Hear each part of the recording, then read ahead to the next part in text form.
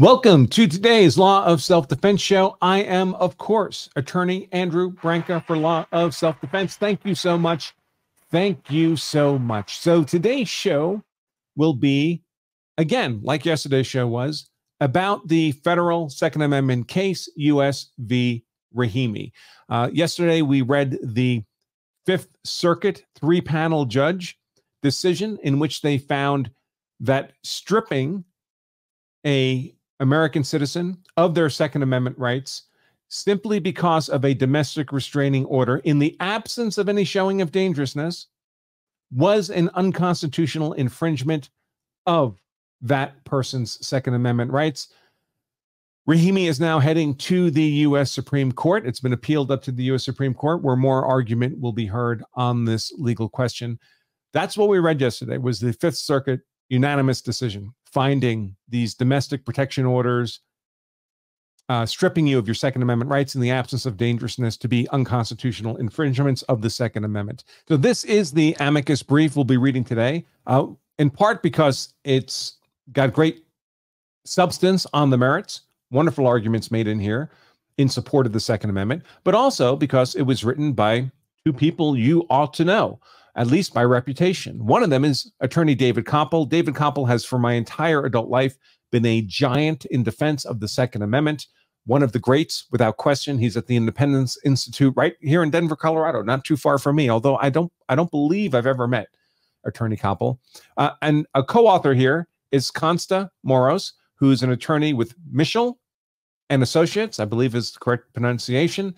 Um, I've had the chance to have Konsta on law self-defense show as a guest um, and communicated quite a bit with him on Twitter. And he's he's just a super sharp guy. Uh, Chuck Michel, the senior partner at Michel and Associates, is also the president of the California Rifle and Pistol Association, a 501c3 charitable organization that fights for Second Amendment rights at both the state level in California and in the federal level, all the way up to the U.S. Supreme Court. Does great work there. So these are the authors of this brief that we'll be covering today. And without with that introduction out of the way, let's go ahead and formally launch the start of the show.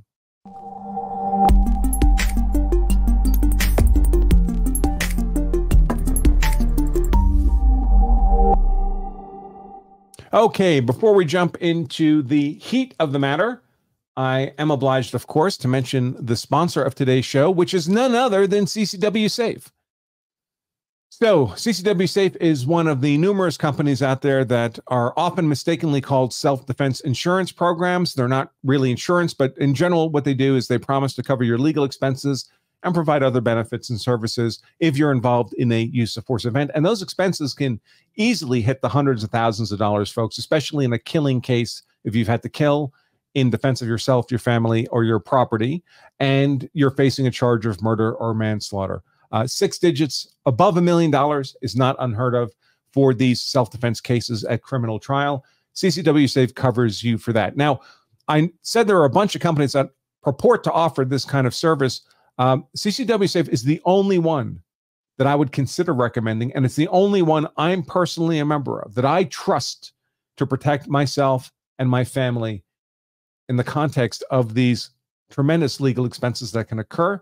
If you'd like to learn why CCW Safe is the only one of these companies that I trust, well, I'll tell you. You just have to point your browser to lawofselfdefense.com slash trust.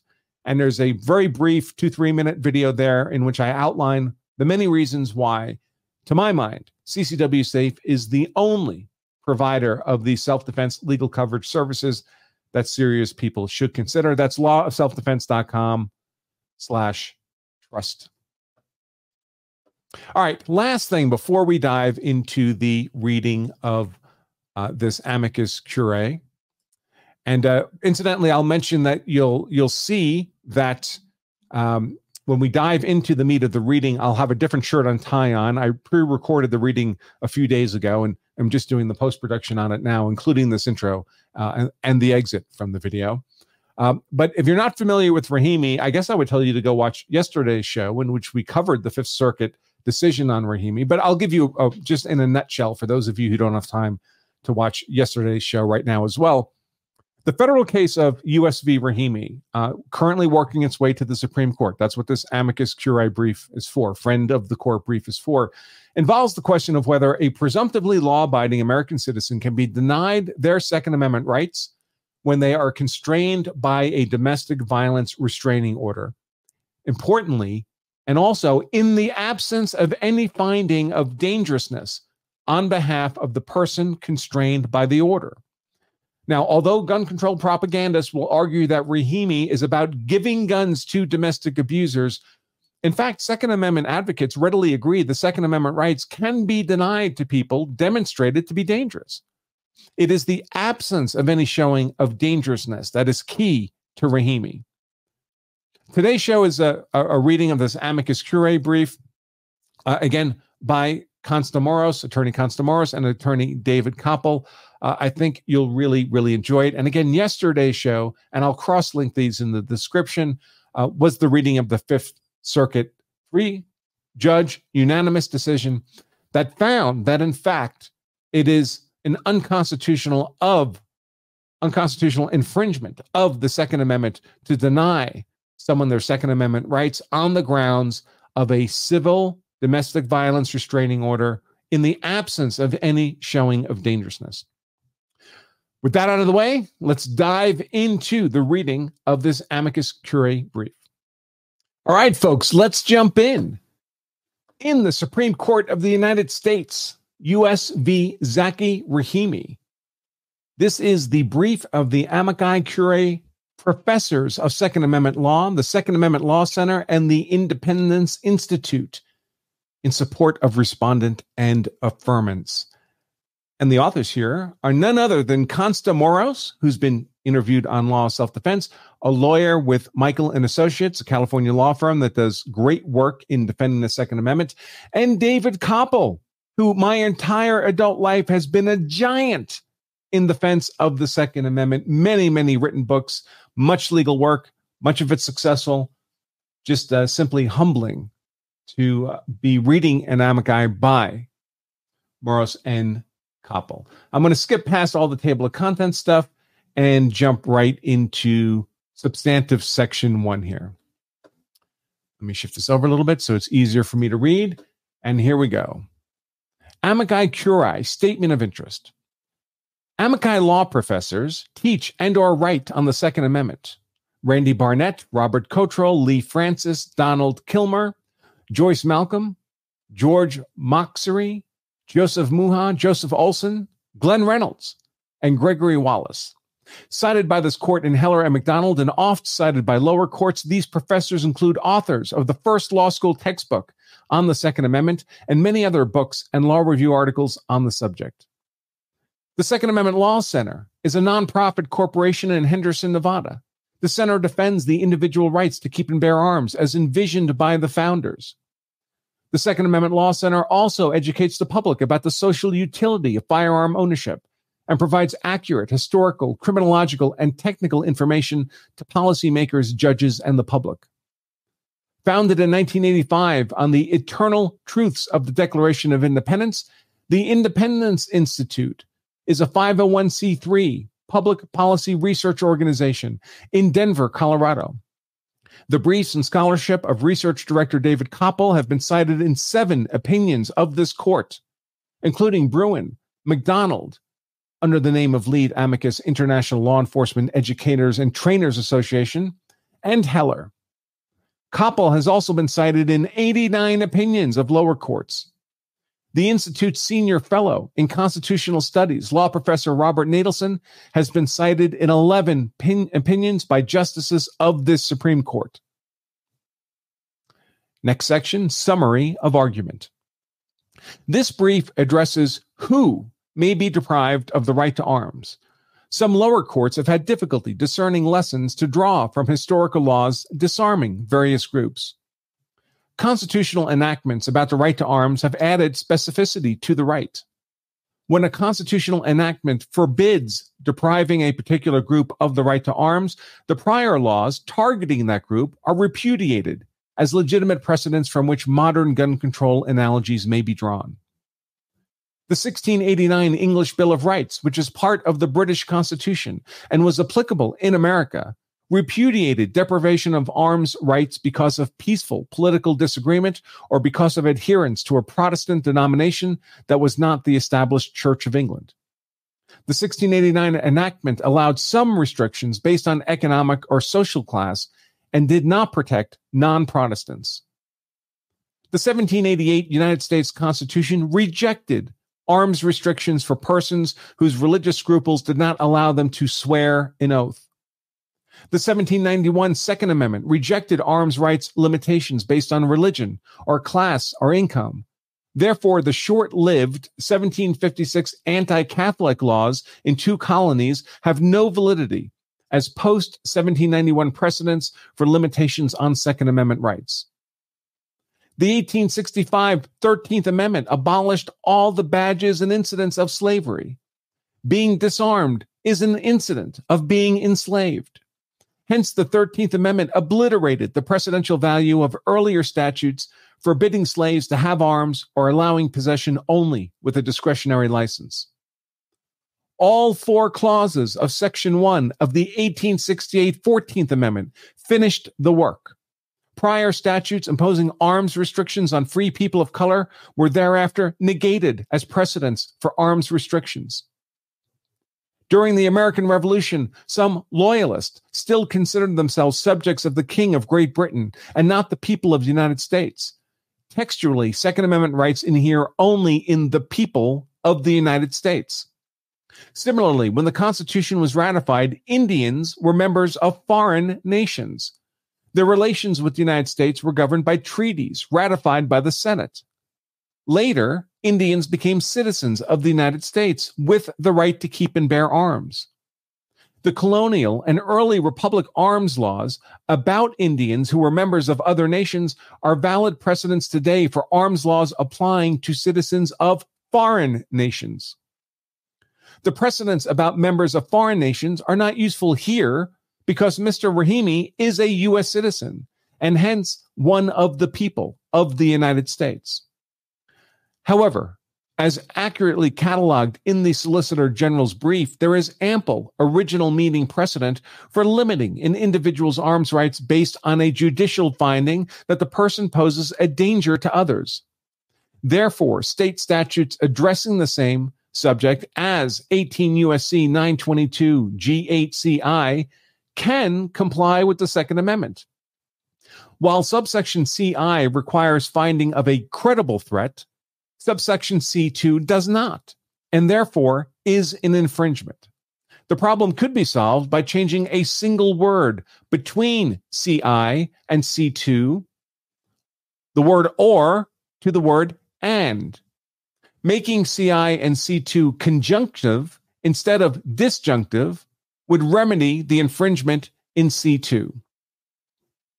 Next major section Argument, Part 1. Entitled, The Original Public Meaning of the Second Amendment is not infringed by laws to take arms from persons proven to be dangerous to others. According to the petitioner, this court's statements about law abiding responsible citizens means that a person's arms rights may be restricted if his possession of a firearm would pose a danger of harm to himself or others. Petitioner's conclusion regarding harm to others is supported by citations to common law and statutory offenses against carrying arms to terrify the public and to surety statutes those are insurance statutes for persons who carried arms in a manner threatening to breach the peace. Additional support comes from cited commentary from 1840 through 1868. Regarding persons who pose a danger to others, amici agree that such laws do not infringe the Second Amendment. Amici will address the who of disarmament, which is part of the why. This brief takes no position on how.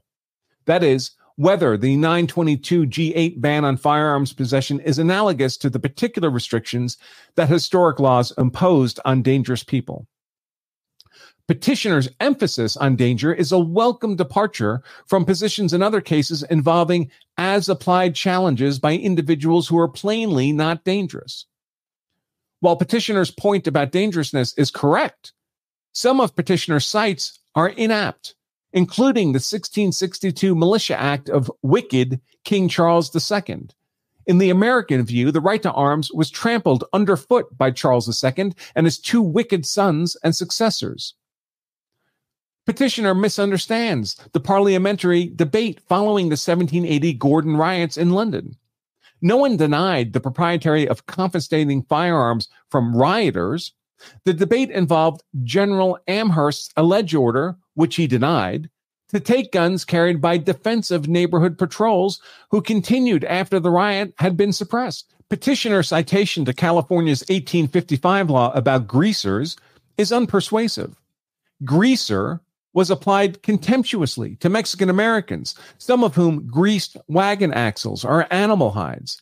The precedential value of the Greaser Act was erased by the 14th Amendment, as explained below. Likewise, questionable is petitioner citation to an 1874 New York Times article about drunken loafers. This citation, like others to the late 19th century, is at most marginally relevant petitioner citations to 20th century law tells us nothing about the original meaning of the Second Amendment.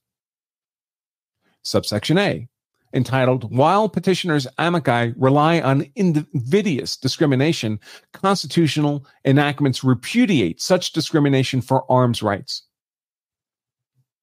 Petitioner's brief does not rely on slave codes, in contrast to petitioner's briefing below, Several of petitioners' amici do try to convert long rejected, invidious discrimination into modern constitutional precedent. These briefs overlook the arms related constitutional enactments repudiating the invidious laws. The right to arms is governed by constitutional enactments and not by abuses the enactments were designed to stop. As legal historian Sir Henry Maine observed, the movement of the progressive societies has hitherto been a movement from status to contract. Similarly, the progress of the right to arms has been constitutional enactments to repudiate unjust exclusions. Sub subsection 1, the 1689 English Bill of Rights. In the American legal tradition, the progress began with the 1689 English Bill of Rights. Previously, the wicked Stuart monarchs had attempted to disarm political dissidents and to disarm persons who did not adhere to the established Church of England. The English Bill of Rights declared that the subjects which are Protestants may have arms for their defense suitable to their conditions and as allowed by law. As a result, the English government stopped enforcing an abusive portion of the 1662 Militia Act. The Act's text ordered confiscation of arms from the dangerous or the disaffective. After 1689, the act was only enforced against the dangerous. Peaceful political disagreement was no longer grounds for arms confiscation. The protection of the rights of all Protestants, regardless of denomination, did not apply to England's small Catholic minority. A statute enacted the same year as the Bill of Rights allowed arms for Catholics who swore a loyalty oath denying papal authority in England or for those who would not swear, if a justice of the peace granted them a license. The language suitable to their conditions could be interpreted to allow class or economic discrimination. Thus, an 1870 English statute required persons carrying handguns off their property to purchase a non discretionary annual 10 shilling tax stamp at the post office. The tax stamp, equivalent to about $84 today, burdened poor people. American colonial charters guaranteed that Americans would have all the rights of Englishmen, and they also guaranteed a written right that the people in England did not have the perpetual right to import arms. In the American colonies, no enactments discriminated against keeping or bearing arms on the basis of income. Religious discrimination for arms was rare, but not non existent in 1637, long before the 1689 Bill of Rights protected arms rights for all Protestants, theocratic Massachusetts Bay Colony issued an ex parte decree with no due process, disarming 17 antinomian followers of Anne Hutchinson. In 1643, Virginia, the royal governor imprisoned, disarmed, and banished 118 recent Puritan immigrants. They moved to Maryland. After an attempted assassination of King William III in England in 1696, the royal governor of New York confiscated the firearms of all 10 Catholic men in the colony. At the beginning of the French and Indian War in 1756, the royal governor of New Jersey, in defiance of the rights of the subjects which are Protestants, confiscated firearms from Moravians, a Protestant pacifist denomination who owned hunting guns. The governor called the Moravians snakes and likely wanted their guns for the colony's militia. Also in 1756, Pennsylvania confiscated papist arms to distribute to the militia. Virginia did the same. If a person would not sign an oath, his arms would be taken, except those necessary for the defense of his house or person sub subsection 2, titled The 1791 Second Amendment.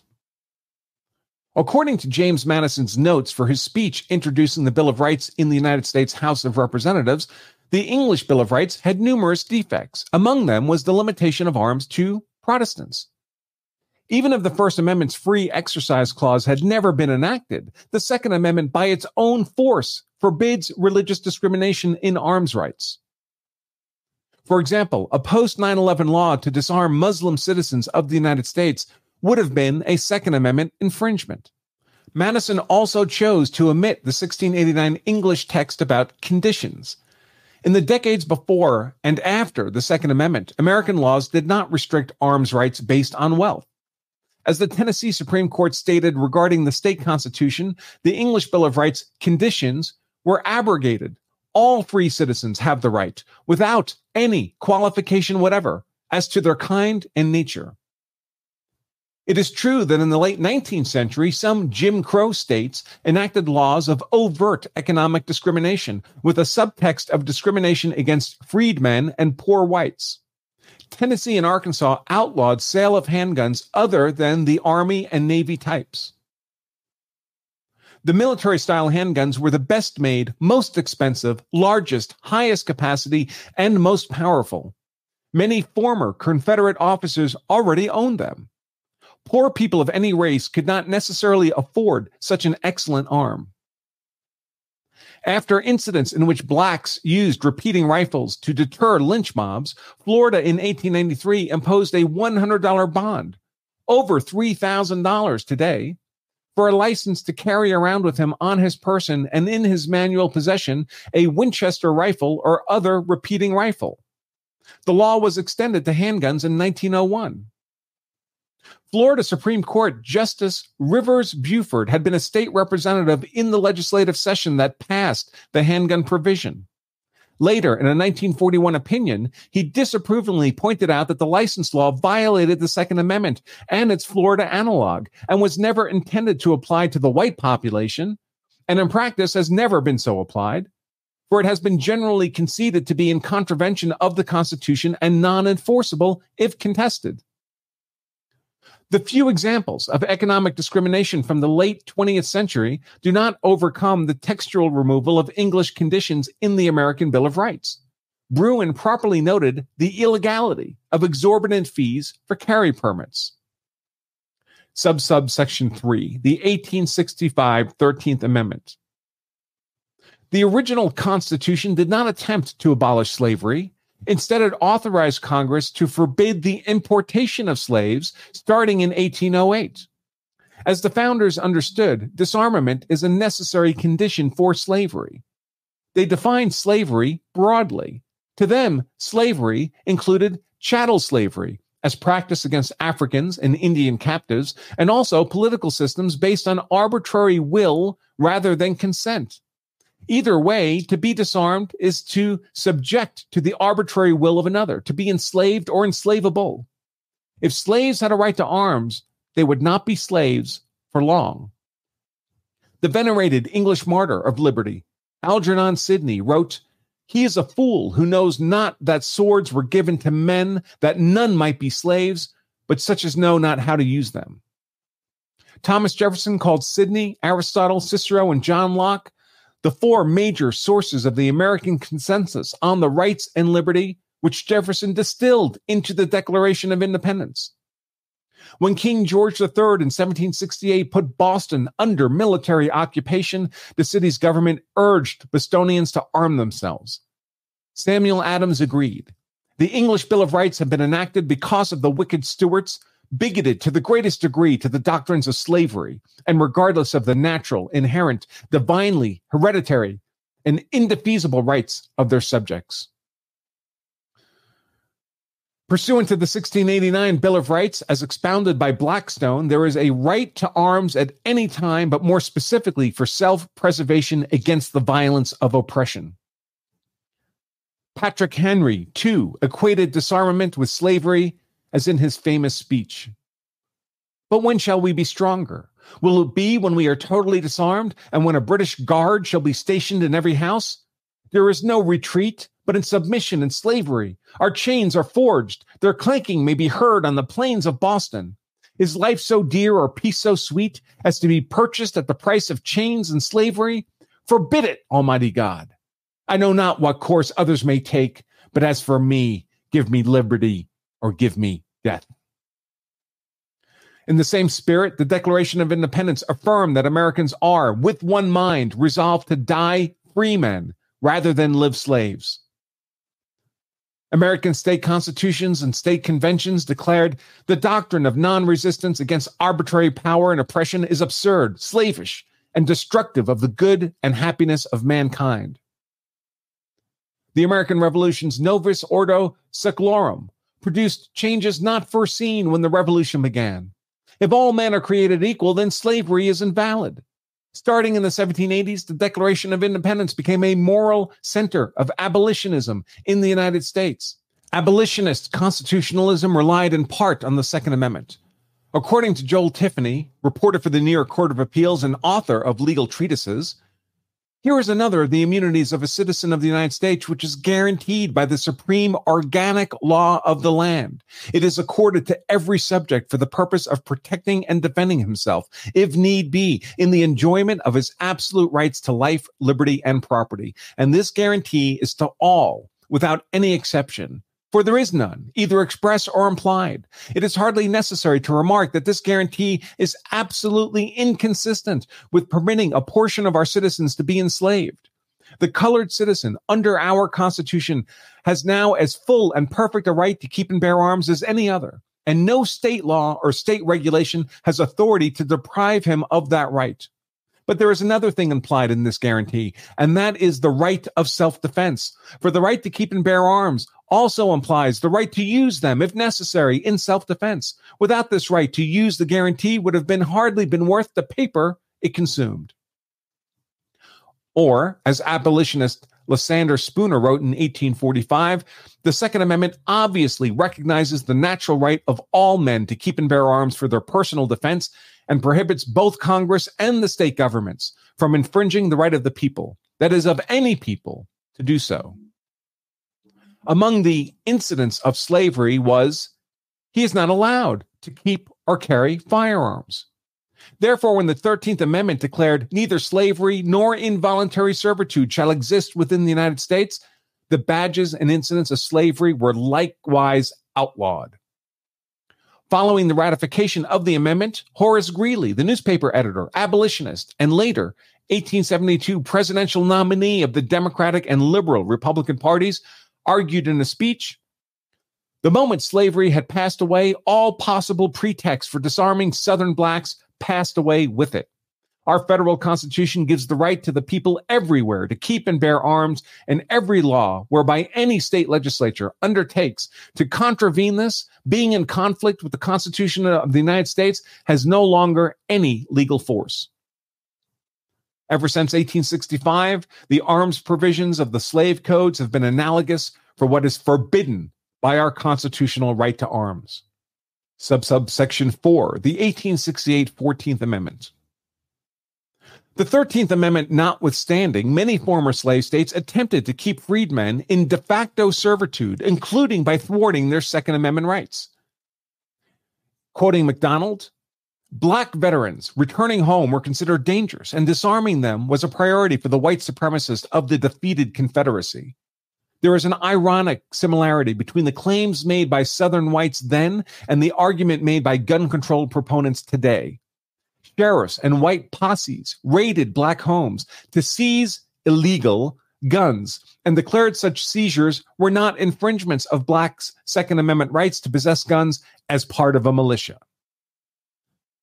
As Frederick Douglass explained, the legislatures of the South can take from him the right to keep and bear arms as they can. They would not allow a Negro to walk with a cane where I came from. Notwithstanding the provision in the Constitution of the United States that the right to keep and bear arms shall not be abridged, the black man has never had the right either to keep or bear arms. Absent the constitutional amendment to enforce that right against the states, the work of the abolitionists is not finished. Keep no man from the ballot box or jury box or the cartridge box because of his color. Before the Civil War, slave states had also targeted free people of color. For example, an 1840 North Carolina statute forbade any free Negro, mulatto, or free person of color to possess or carry arms without a license. The state Supreme Court admitted the statute would be unconstitutional if applied to whites. However, free people of color have been among us as a separate and distinct class, requiring from necessity in many cases separate and distinct legislation. Such reasoning was multiply forbidden by Section 1 of the 14th Amendment. First, all persons born or naturalized in the United States and subject to the jurisdiction thereof are citizens of the United States and of the state wherein they reside. Thus, the amendment overturned Dred Scott's theory that free people of color are not American citizens and hence could be forbidden to keep and carry arms wherever they went. Second, no state shall make or enforce any law which shall abridge the privilege or immunities of citizens of the United States. The language was specifically intended to protect Second Amendment rights for all citizens, not only militiamen. Third, nor shall any state deprive any person of life, liberty, or property without due process of law. The clause forbids certain government actions, including bans on keeping and bearing arms, because some statutes are necessarily not law in the American sense, namely ordered liberty. And fourth, nor deny to any person within its jurisdiction the equal protection of the law. The Equal Protection Clause recognizes a duty of state governments to protect the rights of all persons by effectively enforcing its laws without discrimination. Because of the clause, after 1868, legislatures intent on racial discrimination in arms laws wrote those laws without specific reference to race. We, the people of the United States, govern most supremely by constitutional enactment. By such enactments, we, the people, have abolished many infringements of the right to keep and bear arms. Those infringements today are analogs for types of laws that the constitutional right to arms forbids, not the types of laws that it allows. Sub subsection 5 Indians. Some amici the United States and some lower courts, and some lower courts have pointed to colonial period or early republic laws against arms sales to Indians. These are irrelevant to the case at bar because they involved the citizens of other nations. The Constitution created by we, the people of the United States, did not purport to establish a system of government and rights for the people of France or of the Cherokee Nation Instead, Congress was simply given power to regulate commerce with foreign nations and with Indian tribes. When the United States was in friendly relations with a foreign nation or an Indian tribe, their agreements were treaties ratified by the Senate. To the extent that Congress chose, it could regulate trade with non American nations, whether Indian or overseas. Regulation of trade with foreigners does not infringe the Second Amendment rights of foreigners because foreigners are not the people. For example, today a Russian cannot claim that his Second Amendment rights are infringed because federal regulations prevent him from buying an American made gun. In the years following 1787, the practical sovereignty of the Indian tribes was diminished. An 1871 statute declared that henceforth no Indian nation or tribe within the territory of the United States shall be acknowledged or recognized as an independent nation, tribe, or power with whom the United States may contract by treaty. Laws recognized American citizenship of more and more Indians with citizenship for all in 1924. To the extent laws have infringed the arms rights of citizen Indians, they were unconstitutional ab initio. Historic laws regarding arms restrictions for non citizens are relevant today. For example, foreigners visiting the U.S. on a tourist visa may only possess firearms if admitted to the United States for lawful hunting or sporting purposes, or is in possession of a hunting license or permit lawfully issued in the United States. The statute does not infringe the Second Amendment because foreign tourists are not included in the people of the United States. Citizenship analogies also inform analysis of the firearms prohibitions for a person who, having been a citizen of the United States, has renounced his citizenship. Citizenship analogies are not relevant to the Rahimi case because Mr. Rahimi is a citizen of the United States. That he is dangerous and unvirtuous does not make him a non citizen, and therefore he is one of the people. Sub subsection 6 Disloyalty in Wartime. During the American Revolution, some state laws took arms from people who refused to swear loyalty to the United States. In wartime, disarmament is permissible for enemy combatants and for persons who have shown inclination to aid the enemy. For example, after the German surrender in World War II in May 1945, but before the Japanese surrender in September, some Germans in Japanese occupied China continued to aid the Japanese army. This court rejected the claim that the Germans had a right to be tried by a civil court rather than a military tribunal. According to Justice Jackson's opinion for the court, granting the Germans Fifth Amendment rights would mean that during military occupation of territories formerly held by the Axis, irreconcilable enemy elements, guerrilla fighters, and werewolves could require the American judiciary to assure them freedoms of the right to bear arms as in the Second Amendment. During the American War of Independence, the anti independence loyalists rejected being the people of the United States. They fought to remain subjects of the King of Great Britain. The Second Amendment is not infringed by wartime disarmament of individuals who choose to exclude themselves from the people. In the Revolutionary period, some Americans bearing true faith and allegiance to the United States were unwilling to swear an oath. Jesus had said, swear not at all. The wrongful disarmament of religiously scrupulous, non swearing citizens was repudiated by the Constitution. The president elect shall take the following oath or affirmation I do solemnly swear or affirm. Because the commander in chief and other officials may choose affirmation instead of oath, citizens with similar scruples may not be disarmed.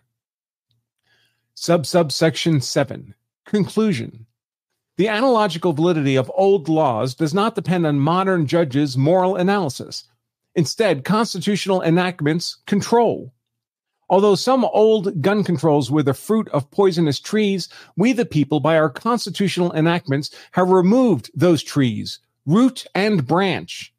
The enactment of 1689, 1788, 1791, 1865, and 1868 ended all validity of bigoted gun control laws.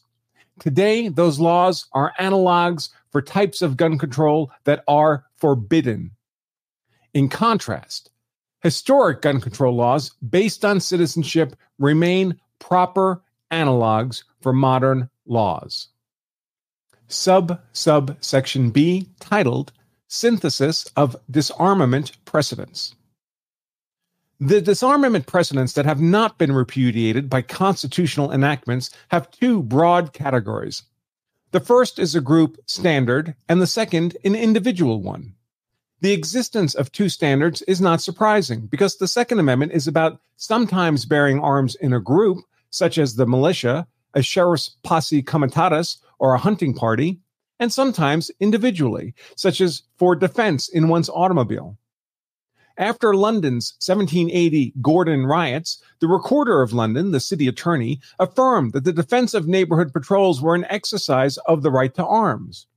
That right, which every Protestant most unquestionably possesses individually, may, and in many cases must, be exercised collectively. Just as the right is necessarily sometimes exercised collectively and sometimes individually, the limitations of the right will sometimes be collective and sometimes individual. Collectively, an absence of Second Amendment rights arises from not being among the people. Individually, Second Amendment rights may be restricted based on specific behavior demonstrating danger to others. The dangerousness category draws no support from old laws about Catholics, free people of color, poor people, and the like. Although legislatures, kings, or other officials did consider these groups to be dangerous, the people, through constitutional enactments, have stricken such laws from being valid precedents for limiting our rights to arms. Sub subsection C, titled Applying Law Abiding Responsible Citizens. As petitioner states, disarmament of persons who are dangerous to others is consistent with this court's language about law abiding citizens. The words are not meant to produce absurd results. A city council could not prohibit firearms possession by someone convicted of overtime parking, even if the council made the crime punishable by up to three years in jail, and even if the person were convicted a hundred times. Likewise, law abiding citizens should not be construed as implicitly overruling United States v. Verdugo or Quaidez, which stated that the people safeguarded by the Bill of Rights, including the Second Amendment, includes persons who have developed substantial connections with this country. The category surely includes non citizens who have been granted lawful permanent residency. Subsection 2 The defects of Section 922 G8. The decision below should be affirmed because a single word in 922G8 makes it facially unconstitutional. The statute bans firearms possession based on two different types of court orders. C1 includes a finding that such person represents a credible threat to the physical safety of such intimate partner or child.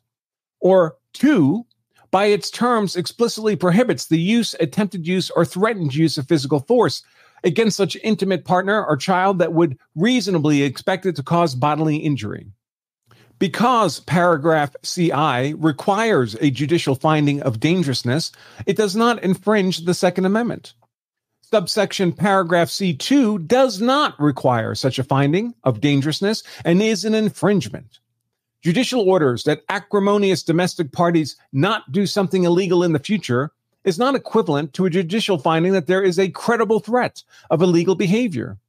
Congress could easily fix the problem by changing the or at the end of paragraph C1 to and. Alternatively, subsection C2 could be severed. Amicus California Legislative Women's Caucus attempts to rescue C2, saying it is used when the subject of the order has a history of threats or violence, or there is other credible evidence that violence may occur. If C2 were so worded, it would be similar to C1 and not an infringement. Because C2 is so open ended, it encompasses mutual protective orders that infringe the Second Amendment by disarming victims. Unlike federal law, California has specific protections against inappropriate issuance of mutual orders. The Second Amendment aside, Section 922G8 is still constitutionally dubious. The connection to congressional power to regulate commerce among the several states is even weaker than the gun free school zone statute previously held unconstitutional. Indeed, the statute in Lopez exempted the home and other private property, whereas G8 does not. Some of the Section 922G prohibitions are well grounded in the Interstate Commerce Clause. Quote, to ship or transport in interstate or foreign commerce. Close quote. Another prohibition to receive any firearm or ammunition which has been shipped or transported in interstate or foreign commerce has a distant connection to interstate commerce by involving a property transfer. The prohibition possess in or affecting commerce, as read by petitioner to encompass mere possession of a gun that once crossed the state line, is far disconnected from the power to regulate commerce among the several states. When Congress acts beyond its enumerated powers, federal state comity is injured. Federal courts do not exist to adjudicate state domestic relations cases. Since the birth of the Union, it is the individual states that have held the power to enact laws for the good and welfare of their citizens, including those laws providing for protective orders. Based on evidence in particular cases, state judges sometimes issue orders that a domestic party not possess a firearm. In contrast, G8 can make a state court order have a legal effect that the state judge declined to impose. Thus, a state is denied the ability to impose certain restrictions on persons without also prohibiting their firearms rights. Subsection 3, titled Amicus Briefs. This court's opinions affirmed the freedom of speech for over a century before the court actively began protecting it. As judicial engagement progressed, the court had to develop increasingly sophisticated free speech doctrines. When doing so, the court did not rely on theories propounded by persons who considered the freedom of speech pernicious and who wanted to shrink the broad right to microscopic size. In the instant case, some of petitioners' amici also filed briefs in Heller, McDonald, and Bruen. These cases affirmed elementary, obvious points about the Second Amendment. It is a normal individual right. It is applied to the states by the 14th Amendment, and it is not contingent on an individual's special need. In all three cases, some of the present amici attempted to persuade this court to render the Second Amendment a nullity. Such amici include New York City, Chicago, the state of Illinois, several of the religious leaders and organizations, and various gun control groups. Organizations that believe a right should not exist are not the best guides for the proper interpretation of that right just as a dissenting opinion is generally not the best source of legal advice on how to comply with the majority opinion. Amicus Patrick Charles offers to educate the court about Bruen. He believes that Bruen fails to adhere to even basic academic standards and that it did not invoke history honestly or honorably. He accuses Justice Thomas, and assuredly many others of the bench and bar, of selectively invoking the authoritative power of history in a manner that justifies their own predilections. According to Charles, fugazi means that the Second Amendment, at least as articulated by Bruen, is historically ruined and fake. Mr. Charles' proposed macro approach amounts to interest balancing. For at a high enough level of generality, everything is similar in some infinite ways to everything else. This court correctly requires analogs that, while not historical twins, are relevantly similar. Petitioners' amici, professors of history and law, include some, most notably Professor Saul Cornell, whose theories were rejected by the majority and cited by the dissents in Heller and McDonald and Bruen. In Professor Cornell's view of Bruen, Thomas has taken law office history to a new low, even for the Supreme Court, a body whose special brand of law chambers history has prompted multiple critiques and been a source of amusement for generations of scholars and court watchers. Bruen was, quote, tendentious, error filled, and highly selective culling of evidence, and a new low for the court. The bizarro constitutional universe inhabited by Thomas is bonkers, close quote. Professor Cornell denounces quote, Thomas, Alito, and their ideological co conspirators, and the surreal originalist universe inhabited by Thomas and his colleagues, close quote.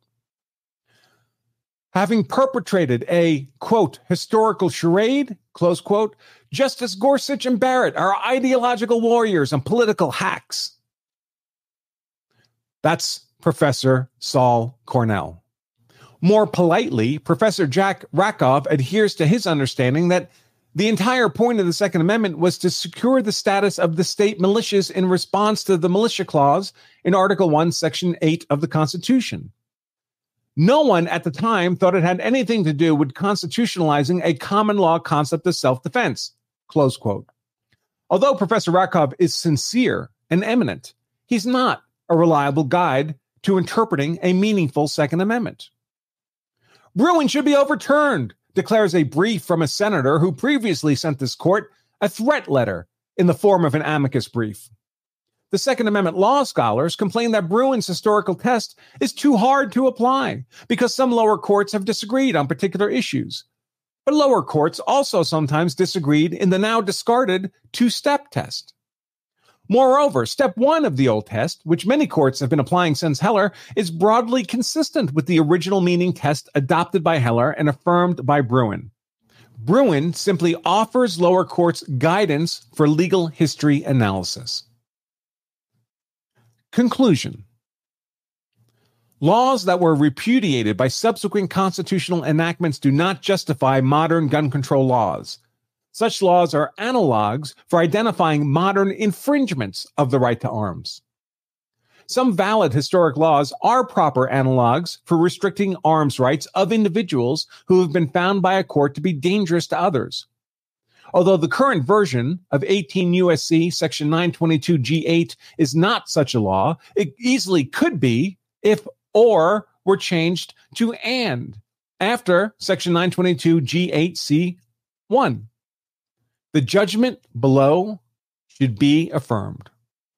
Respectfully submitted, David B. Kopel, Independence Institute, 727 East 16th Avenue, Denver, Colorado, 80203. Counsel of Record. Well written, sir. Well written. And on the cover page of this, because he provided considerable uh, support and assistance, is Constantinos Moros of Michel and Associates. Konsta's been a guest on our show before, as I've mentioned, and I'm sure he had great fun working with David Kopel on this amicus brief to the U.S. Supreme Court in U.S. v. Rahimi. All right, folks, that's it for my reading of the amicus curiae brief by attorneys David Kopel and attorney um, Konsta Moros. I hope you really enjoyed that. They both do great work. With that, I will remind you if you carry a gun, so you're hard to kill. If you carry a knife, so you're hard to kill. If you carry pepper spray, so you're hard to kill. If you practice jujitsu, so you're hard to kill. I do all those things, so I am hard to kill. So my family is hard to kill. Then you also owe it to yourself and your family to make sure you know the law so you're hard to convict as well. Until next time, I remain attorney Andrew Branca for Law of Self Defense. Stay safe.